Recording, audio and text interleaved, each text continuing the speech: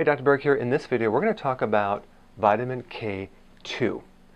Now, you may have heard vitamin K1, which is involved in clotting, but vitamin K2 is a completely different vitamin.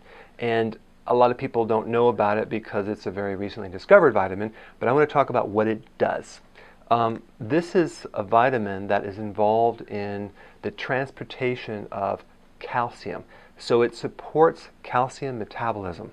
Now, when a postmenopausal female, or pretty much anyone who's taking calcium and vitamin D, or just calcium, and they're taking it to think that it's going to help their bones, a lot of times it may help their bones, but in the last three clinical trials, which I'm going to list below on this, on this page, um, they found that it increases chances of getting heart attacks by 50%. Now, why is that? Because this is the missing element to help transport the calcium from the blood into the bone.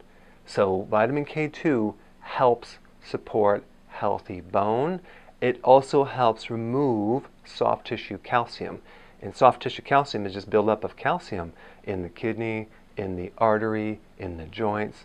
So, I recommend this for anyone that has any problem with calcium metabolism in general.